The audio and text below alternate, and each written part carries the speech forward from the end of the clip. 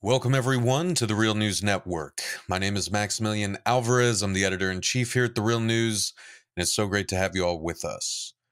Today is Saturday, March 5th, and the world continues to watch in horror as the full scale Russian military invasion wreaks havoc on Ukraine and its people and pushes the world closer to the ever approaching brink of global catastrophe. Since this invasion began on February 24th, Nearly 1.3 million people have fled the fighting in Ukraine, and at least 351 civilians have been killed, according to the United Nations. According to the latest updates from the news agency Reuters, quote, Russian forces seized the Zaporizhzhia nuclear power plant in eastern Ukraine, the largest nuclear power plant in Europe, after a building at the complex was set ablaze during intense fighting with Ukraine defenders the U.S. Embassy in Ukraine called the Russian assault on the Zaporizhzhia plant a war crime. The European Union, the United States, Britain, and others have hit Russia with a wide range of sanctions after its invasion of Ukraine. The sanctions span various industries and include financial, energy, export, and travel bans. Russia's large banks are deeply integrated into the global financial system, and the country is one of the world's biggest energy producers, meaning sanctions could disrupt economies around the world. End quote. In his first extended remarks about the war since the invasion began, Russian President Vladimir Putin said today, quote, these sanctions that are being imposed are like the declaration of war, end quote. Then, in a deeply ominous and chilling statement about the response to the invasion by Ukrainian and world leaders, Putin went on to say, quote, the current leadership needs to understand that if they continue doing what they are doing, they risk the future of Ukrainian statehood. End quote. In today's interview, we're going to be taking a look at the media side of war and at the ways our mediated connections to war and to each other can limit how we think and act but also how we can use the tools available to us, from social media to independent news, to think more clearly and act more bravely and lovingly. And I couldn't be more honored to be joined today by my guest who is very much dedicated to that struggle and has been for quite some time. Abby Martin is an American journalist, show presenter, activist, and artist.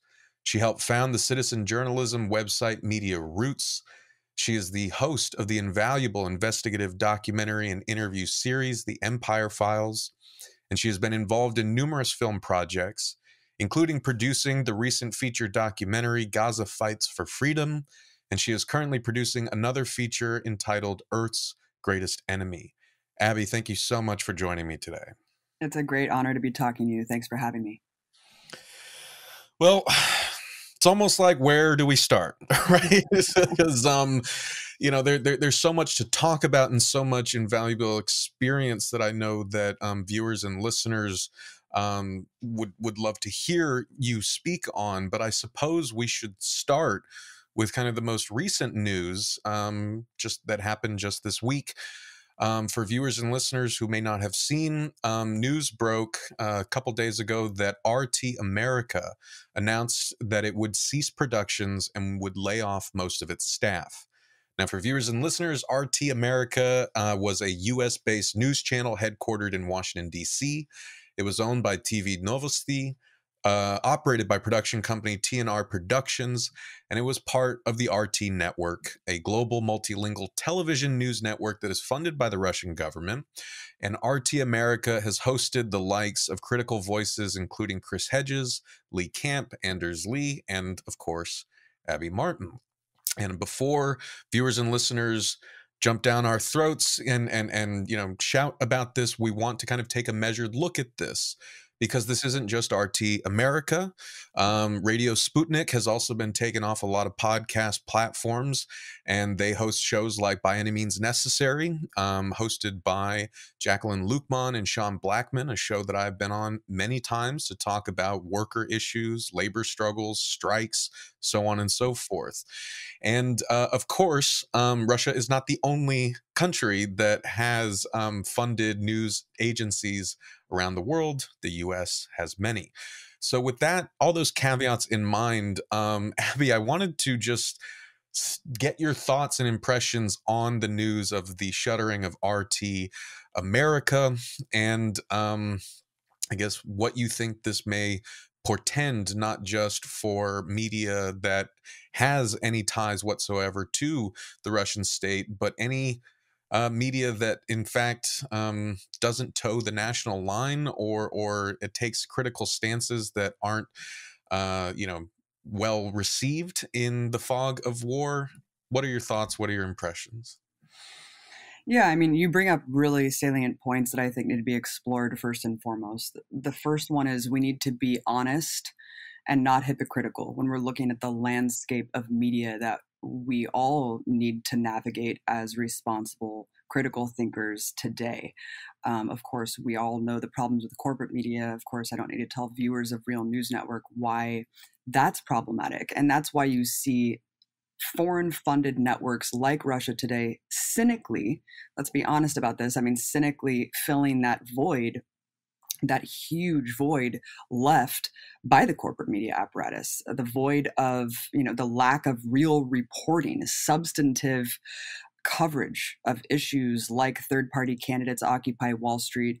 And in fact that is what this is really about. This is about the suppression um, of and, and purging of all dissident voices in the landscape of alternative media. I mean, the US establishment has been clamoring for years to do this, to purge everyone that doesn't kind of toe the line of what the US foreign policy, policy establishment wants. And we saw this come to a head with the DNI report. Um, when Trump won the election, of course, there was a deliberate effort to absolve the political establishment's failures or accountability or reckoning of how we got to this place. And instead, they just wanted to blame Putin. And not only blame Putin for undermining our you know alleged democracy but also russian media as this huge sinister propaganda effort that really sowed this sinister you know um, distrust and discontent with American institutions. And that's actually what gave us the rise of Trump. It was Russian media, um, these, you know, $10,000 or whatever very menial amount of Facebook ads that, you know, did this and that. And really, it's kind of laughable when you look at how much does the U.S. really meddle in, um, you know, in foreign policy all around the world? How much does the U.S. undermine sovereignty of countries all around the world? How much has the U.S. really pumped its own propaganda and dominated this kind of cultural hegemony over the rest of the world. The list goes on and on and on. But what they really did was grossly exaggerate the effect and impact of Russian propaganda to deflect what they were doing, how Trump came to be. So this is kind of a long, this is basically the culmination of a long, years long um, plan to purge all alternative media, whether it's people, you know, opposing the assassination of General Soleimani and the purging of pro Iran voices on networks like Twitter and Facebook, but really it's the kind of coalescing of big tech Silicon Valley giants working and acquiescing with state government policy. And what's scary about this is there wasn't even legislation that demanded them to do so. This was a kind of a preemptive um, preemptive coordination with the government on behalf of organizations like Google and Facebook. And you saw the fact checking go into account, um, where you had people like uh, on the board of Atlantic Council. You know, this is defense contractor funded think tanks that were now tasking themselves with fact checking. Um, so, all of this put together brings us to today, which is Russia Today America, the American Bureau in DC, shuttering its doors. I'm assuming as the result of constrictive sanctions that have basically made it untenable and impossible to run the bureau. This is after we see YouTube banning, straight up banning and removing all RT platforms in Europe I mean, this is a huge swath of territory that now you cannot access the Russian perspective. And then we saw US distribution, of course, cut off Russia media. Um, that includes Comcast and DirecTV, I, I'm pretty sure. And as you mentioned, it's not just, you know, it's not just the cartoonish depiction of a Putin run propaganda network. I think it's very obvious by its name, Russia Today, that it's Russian state media, that it parrots the bias of Russia and that it peddles Russian talking points. That's not a shocking declaration. The problem is that we have the US corporate media, which basically acts as the arm of the Pentagon whenever we need uh, critical dissent against US foreign policy. These voices kind of uniformly come together, they coalesce, and they essentially just echo whatever the foreign policy line is of the US empire and its junior collaborators. And that is a highly sophisticated propaganda model that we that we basically parrot and declare as free press. Um, we herald and cherish the notion of free press in this country, but what does that really mean if we have this ever constrictive media apparatus that essentially only echoes corporate media talking points? I mean, this is a this is an apparatus that is controlled by five corporations um, it affects more than 90% of everything we see, hear, and read. And for me, as a critical thinker and as someone who really cares about what our government is doing abroad, I feel like I need to have a wide range of views that I can navigate on my own. And I don't want the infantilizing effect of censorship. I don't want my reality curated for me by big tech giants. I want to be able to pick and choose what the truth is, determine my own reality based on the facts that are available. And that's why this is so offensive. That's why this is such an extreme measure. Because at the same time, you see all these corporate news anchors bemoaning censorship in Russia. And while that may be true, and that is horrible what Russia's doing to shut down independent media, why are we doing it too? Why are we limiting and actually purging Russian media that of course, it doesn't just host Russian talking points. This is one of the only networks that actually uplifted marginalized voices, going back to the cynical exploitation and covering the void that's lacking by the corporate media. RT America was an incredible opportunity to highlight voices like Chris Hedges, consistent anti war voices like myself, Lee Camp. And that was unmatched. That platform that RT America gave us was unmatched. Our viewpoints are not allowed on the corporate media dissent against empire is not allowed on the corporate media. And that is why we had to go to places like Russia today in order to have a platform for these very important and crucial perspectives. Um, and so the shuttering of RT you know this was and if i if i may just say something really quickly about the dni report i mean we saw this firsthand in what the dni report said. We were told by the intelligence agencies that this 2017 report was supposed to be a conclusive indictment on russian media.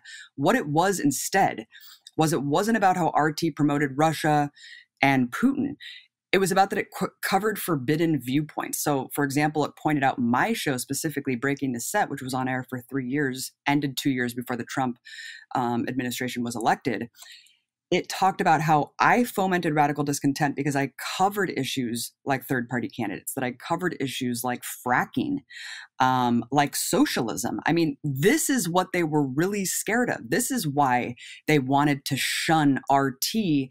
And of course, in that huge wave of shunning all alternative media and blaming it for really the discontent, the real, very gr- real grievances that exist, um, they don't want those grievances shown or aired. They want to sanitize our reality and pretend that these viewpoints simply don't exist because then it's easier to, to basically control the masses and manufacture consent for whatever they want to do. And Max, I think it's really crucial I want the Russian perspective as we're heading into this potential standoff, a potential hot war with two nuclear armed powers. I want the Chinese perspective. I want the Iranian perspective. I want the Russian perspective. I'm not a child.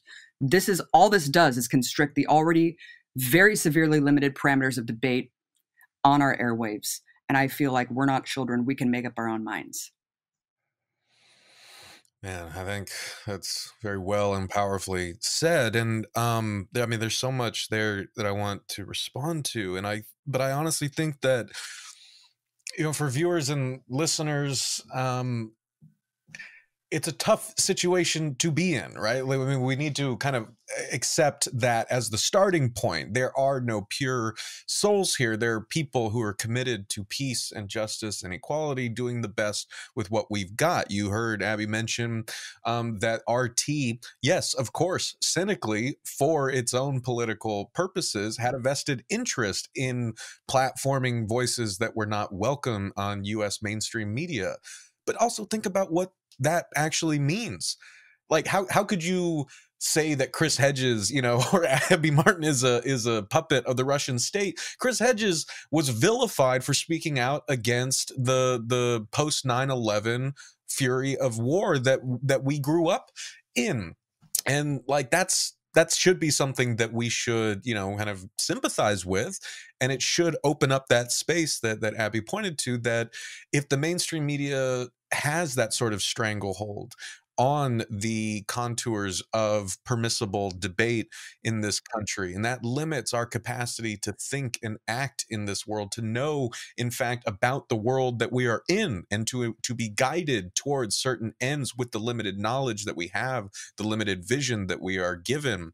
Um, that is very dangerous. That is how and why you see what we're seeing right now, which very much harkens back to those post 9 11 days. You know abby i know that you and i were just a couple years apart in in high school uh, and we grew up in in similar areas but like i feel like i didn't quite grasp then and granted i was a very conservative person who fully bought into the the war you know furor after 9-11 um, but seeing it more as an adult now it is very scary to recognize how quickly, right? The day before the Russian invasion began, we were focused on, you know, we were still talking about COVID 19 and the like government's uh, opening up a, a, restructuring of the CDC guidelines. We were talking about trans kids being attacked and, and vilified in Texas. We were talking about important labor struggles around the US and beyond. And suddenly it was like a Pavlovian bell had been rung. Everyone stopped, dropped everything. This became our primary focus. The media apparatus kind of just went right into full effect. And all, and I, even I felt it in myself, right? I mean, like, and and and I was deeply uncomfortable with that because I feel like I'm a critical person, but I, just immediately I felt that that sort of ideological conditioning just be activated at a moment's notice. Um, I guess I wanted to to ask before I, I, I, move on to to talking about your time at RT. Just um, I guess what you what you feel that says about how much we may have or have not learned from what we saw um, in that sort of propagandistic effort, pro war effort, that sort of cultural mania after 9 11. Have we come much farther from that uh, now?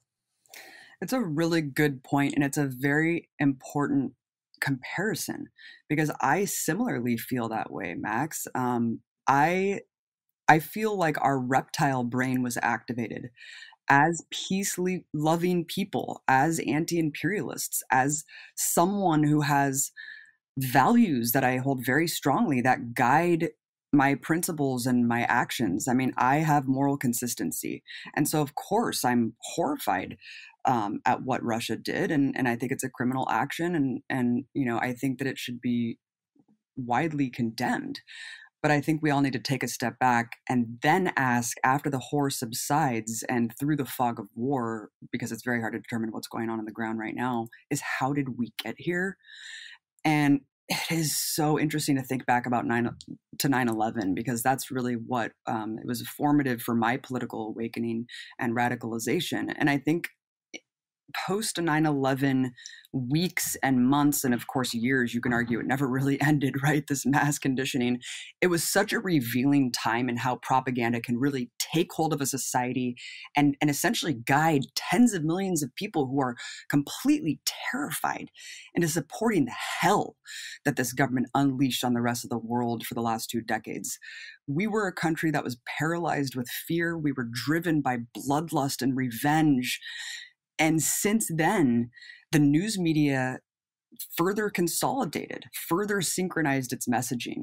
Um, I think Project Censored did this study showing how that 24 hour kind of broadcast um, was really perfected from 9-11 i think we saw like anna nicole smith and then 9-11 was like the next time that it was like 24-7 let's just never stop showing the horror and destruction of these towers you know falling and and all of this and then it just never stopped. It's like it, there is something to be said about that psychological control of like always having that beaten into your mind.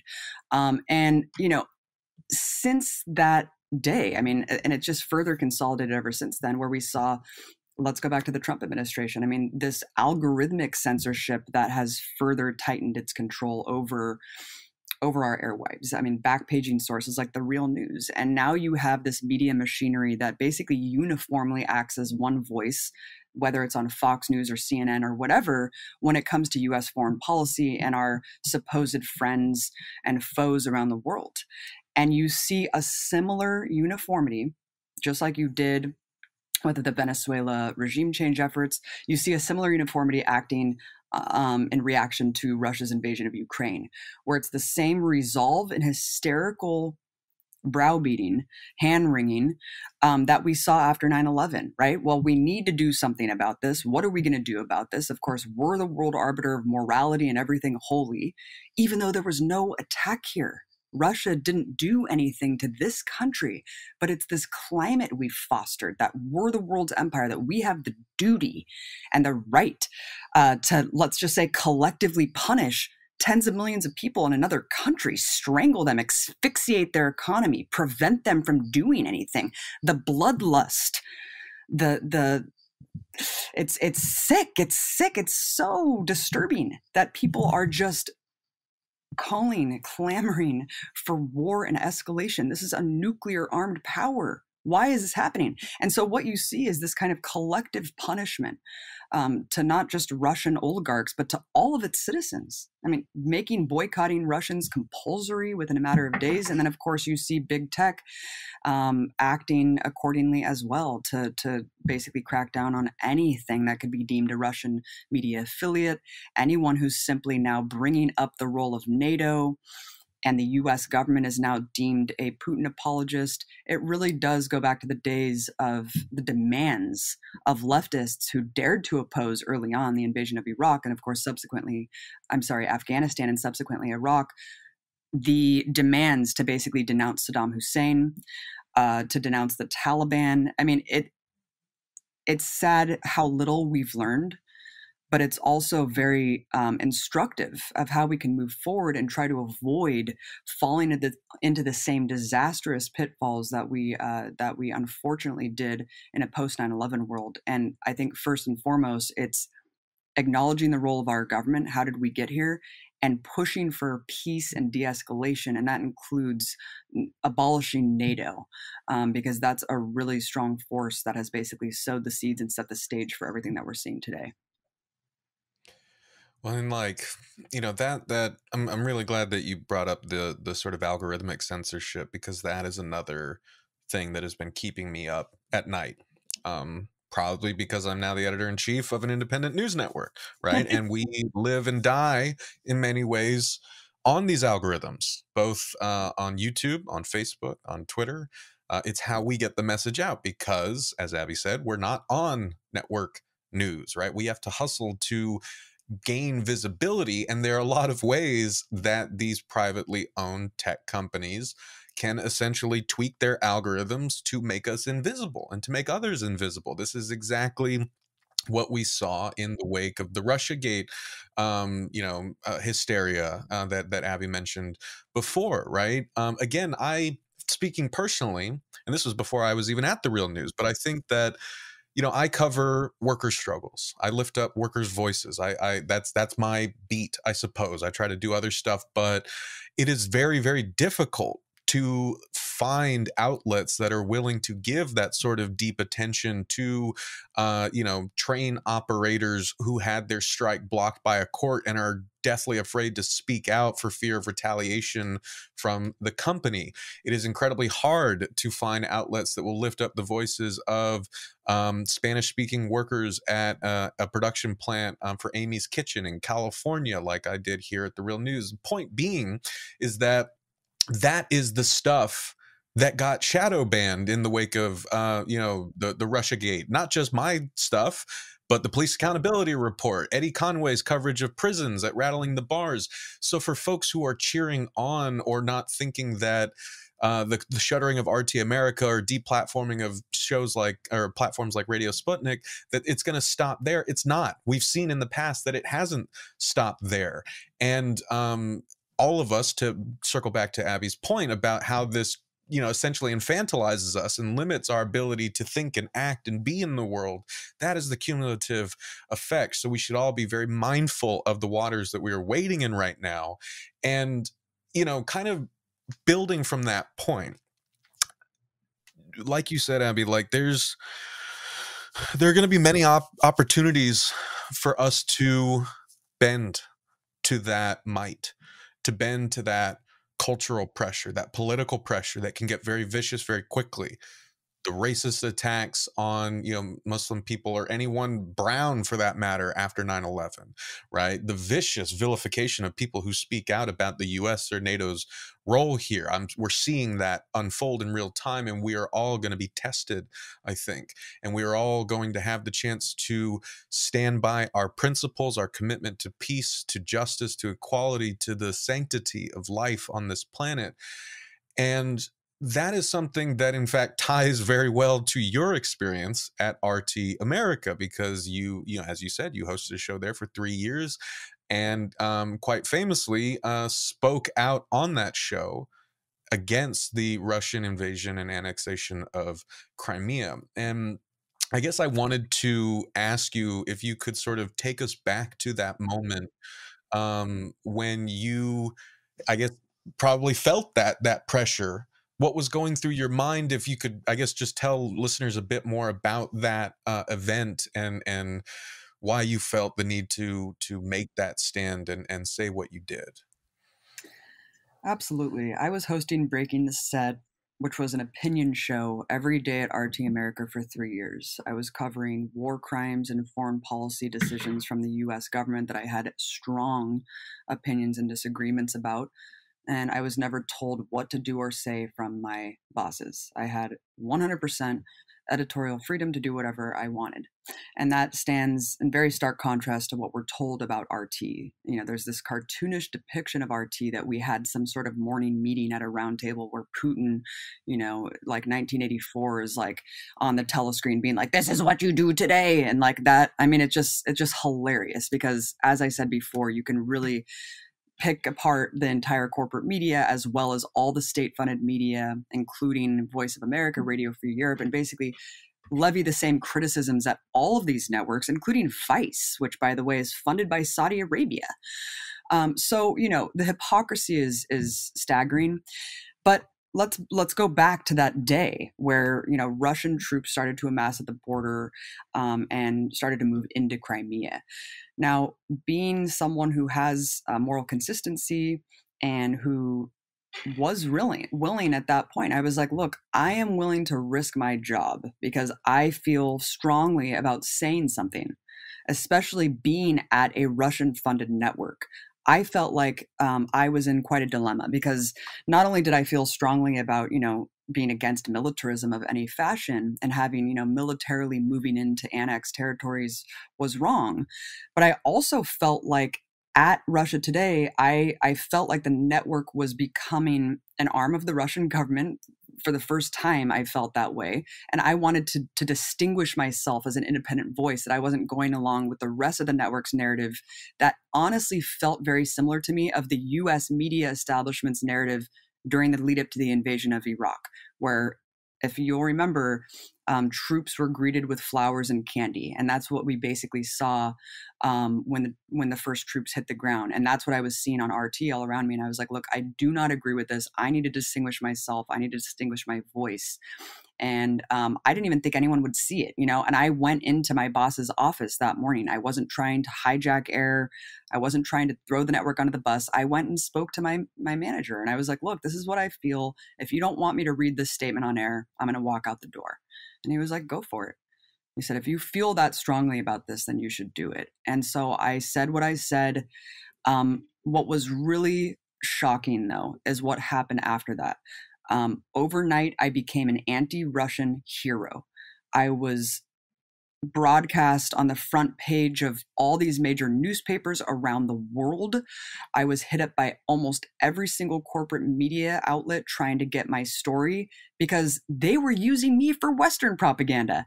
All of a sudden, I was the anti-Russian hero, the dissident at Russian-backed media, the Kremlin operation that that had the audacity to to stand up against her handler.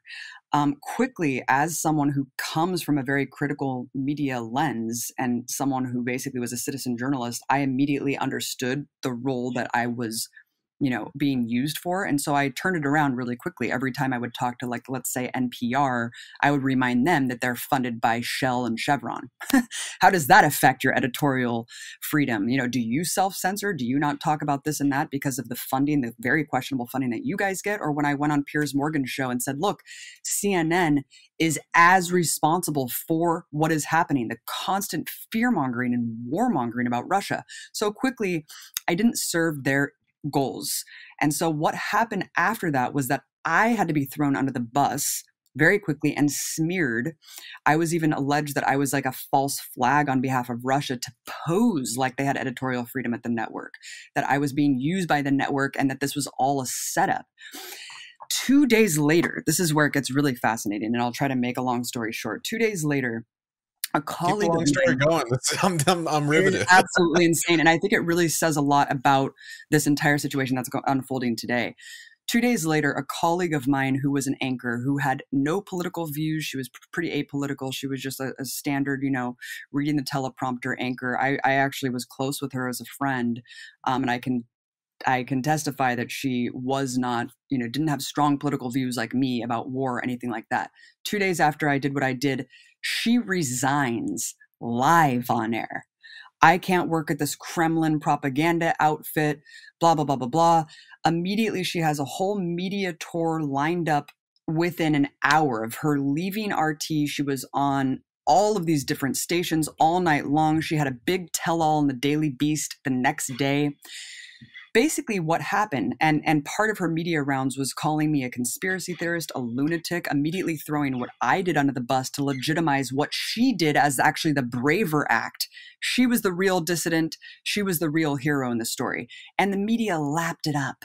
She went on colbert report. She went everywhere baby. She was the hero of the story but what happened behind the scenes is actually very telling because what her entire resignation was, was actually a psyop that was stage managed by Bill Kristol's henchmen. Bill Kristol, the famous arch- one of the famous architects of the Iraq War, had a foreign policy think tank called the FPI, the Foreign Policy Initiative in DC.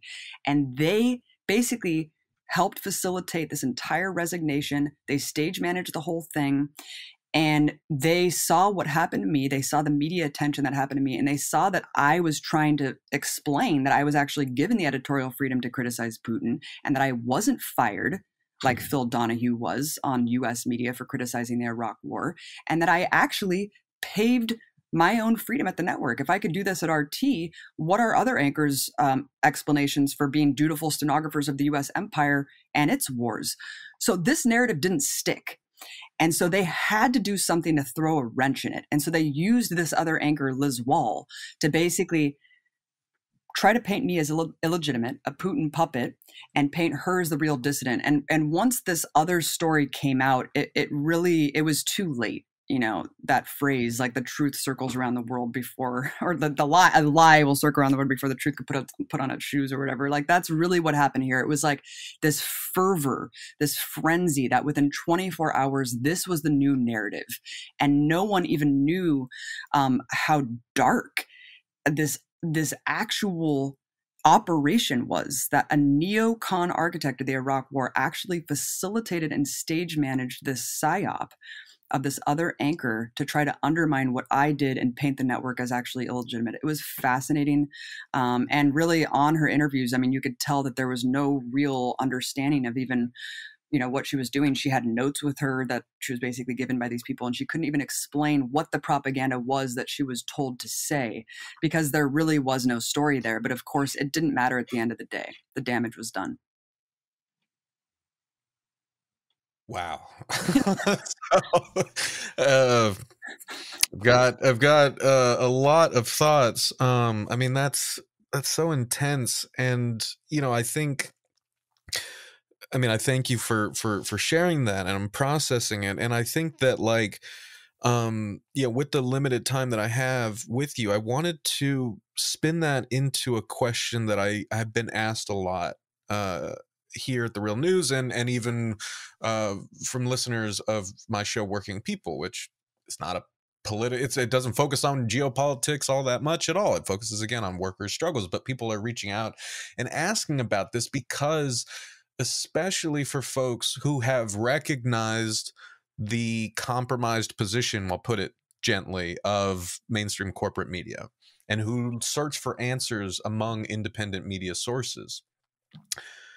That suspicion of psyops and and of of wolves amongst the sheep you know like or or, or you know like they're, they're i feel like everyone is on very high alert. And in fact it it becomes one of the weapons of first resort when people start kind of lashing out at media makers whose opinions they very much disagree with whose reporting they feel is lacking in certain points yada yada yada people get immediately accused of actually being uh, a psyop, mm-hmm. right? You know, like of being a plant. And I guess the the going back to the fog of war thing, the really humbling part about it is that there's actually a lot about that that we genuinely can't know. There are people whose voices I do value, but I I don't know them. I don't know how much I can trust them at the end of all things. So, I guess I'm asking for viewers and listeners how learning from that experience that you had what sort of critical media literacy tools should we have in our toolbox to know when we're being duped or at least to to better try to discern right how to interpret you know the the voices in left and independent media to know who we can trust? Does that does that question make sense? Yeah i mean it was a very it was a really tough time for me to navigate let's just say that because i was the center of this media storm. We know how these cycles operate where they chew you up and spit you out and at the end of the day i was fully exposed for all my faults and that's why i just continue to just wear my bias and opinion just on my sleeve. You know love it or leave it i don't hide who i am and i don't hide what i'm advocating for and it's really difficult to discern the same. You know we have a sea of, of corporate media journalists who i feel like they get into the industry for the right reason um, but there's a lot of self-censorship. There's a lot of pressure to conform. A lot of this is about access and keeping your job. I mean, that, that really is what it is. And I think a lot of people who get into the industry in these outlets like the New York Times and such go down the line, they believe in the underpin like the myths that underpin this country. I mean, they believe in American exceptionalism, they believe in capitalism, and they believe in empire.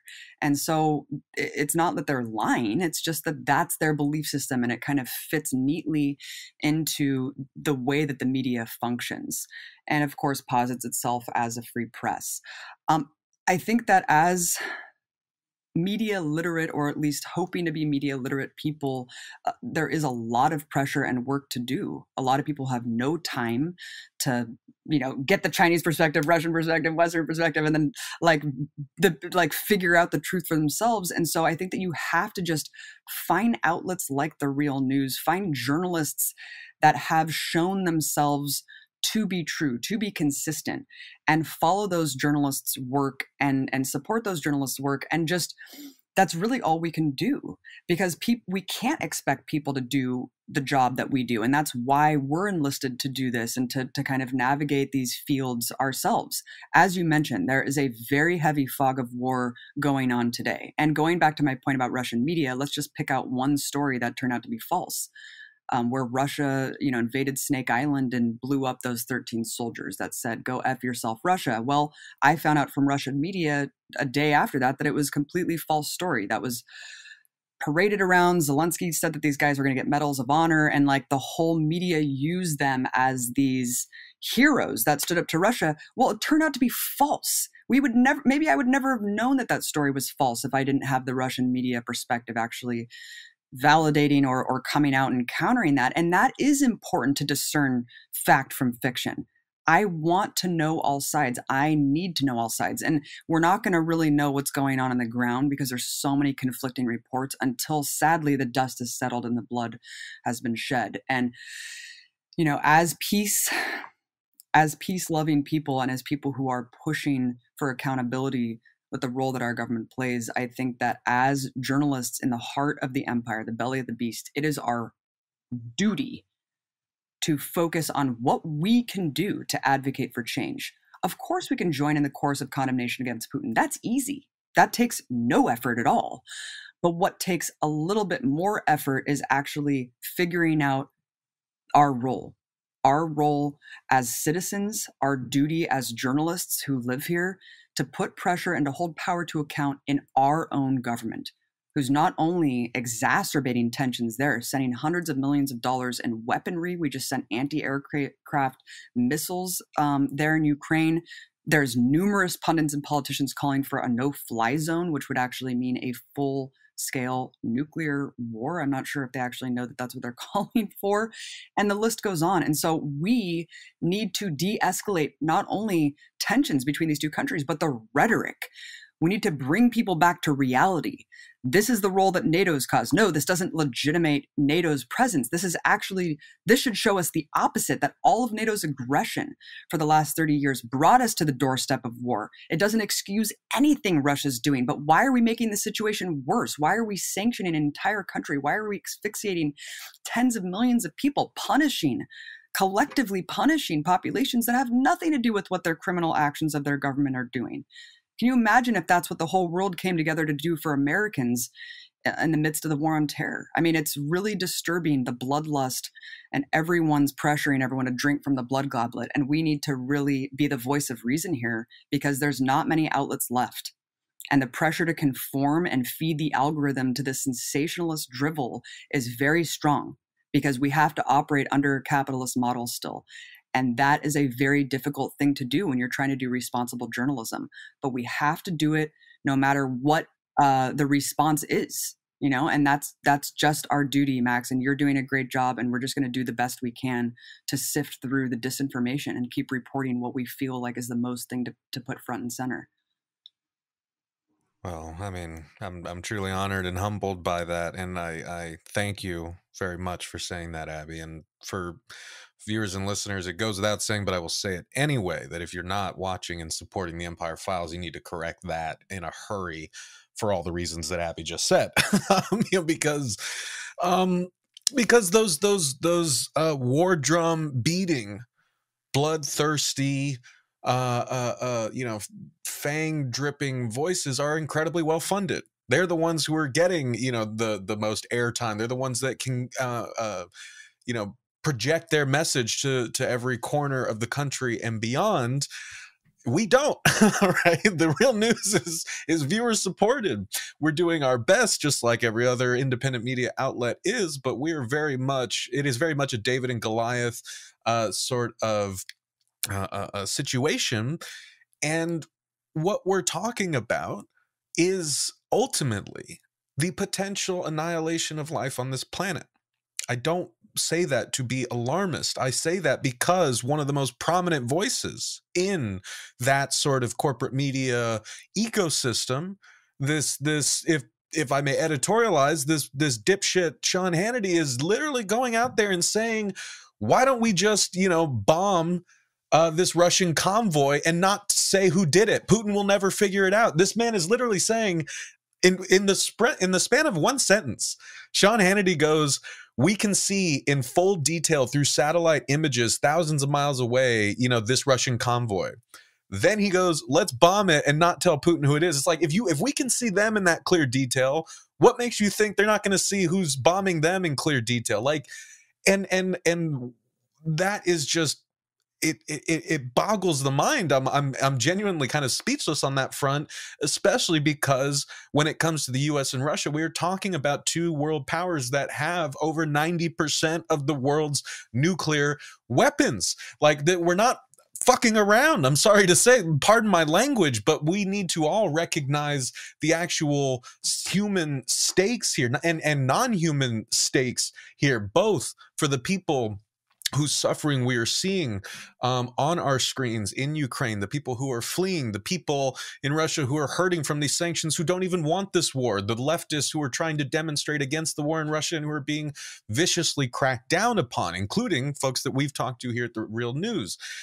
There's a lot of pain in this situation, and the fact that that our concern for that pain and and the needlessness of that pain the avoidability of that pain that should be front and center we shouldn't be i i think back to you know back to my academic days abby when i was studying uh, Mexican politics in the 19th and 20th century, right? And I think back to these postcards that used to be sold around the US showing um, American citizens on the Rio Grande sitting and watching the Revolutionary War happen, like literally making a day out of it, having picnics. I'm not saying that that's what we're doing, but that's the image that comes up for me where we are so kind of distanced from that horror, that reality, that human pain, but it still in some ways is a sort of spectacle that we feed off of. And with the time that I have remaining with you, I guess I wanted to ask you about that because people have rightly pointed out the the racist double standard with the way that the Western media has covered the war in Ukraine, right? I mean, we've seen just kind of just horrifying examples of of anchors and correspondents being like, "Well, this war matters because they're white. this war matters because they look like us." Sure, right? It's really that simple. This war matters because it's in Europe. They're not brown. They don't speak a language that's unrecognizable. They don't look more like like me. And I'm just like, uh, okay, the quiet part has been said very much out loud. and so, um, eh, but and and when people are pushing a, back against that, it even kind of rebounds to us here at the Real News. Like when we cover the war in Ukraine, people say, "Well, why aren't you covering the wars elsewhere?" It's like, well, well, we've been doing that. We've tried to do that. We we can't cover everything, but we have a lot of great coverage, including some that you have done.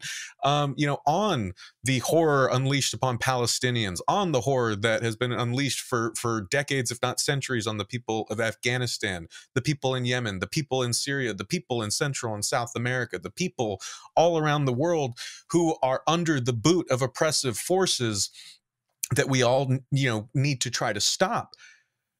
I wanted to ask you in this kind of like kind of let's get some moral clarity here and let's think about how you yourself as a media maker as a journalist as a as a peace activist I want to give people the chance to sort of take the solidarity that they're feeling with the people, the suffering people of Ukraine right now, and expand that across the globe to feel that solidarity with their fellow human beings around the world. Because then maybe we will recognize that this horror, this injustice is as unbearable as it is in Ukraine, as it is everywhere else in the world. How have you done that? How have you tried to do that? Um, or what are the obstacles in doing that as a media maker, as a documentarian, as an activist? I guess help me help me figure out how to how to get people to care I know uh, as much for their fellow human beings around the world as we care about Ukraine and to use that to fight to keep this world from falling apart. I feel your pain. I'm thinking that day in and day out how can we get people to widen this consciousness and apply it everywhere and have moral consistency? And i don't think it's their fault. It, it's that we're led by what we're told and we don't know any better and the outrage that this collective outrage that's felt that's palpable in the wake of russia's invasion of ukraine where does that come from? That comes from the media chorus uh, and the politicians and all the corporations acting with one voice to condemn russia. And that's okay. We need to utilize that outrage right? We need to utilize the fact that there is anger but use that as an instructive moment. How can we actually understand that war did not start today. That war is actually a permanent state. It's been perpetuated by the US for decades and decades. Um, the war on terror has been never ending. In the same week, of course, as Real News has pointed out, and many others, in the same week that Russia invaded Ukraine, there was a US bombing campaign in Somalia. Israel bombed Syria and the Saudi Arabia, Arabia coalition that's helped and facilitated facilitated, excuse me, by the US bombed Yemen. There's a genocide going on in Yemen right now and we are internationalists. We are leftists. It is natural to be repelled by the sight of soldiers invading a sovereign nation, right? It's very natural and understandable to be angry and outraged at war crimes being taken place, bombs being dropped on civilians. War is hell.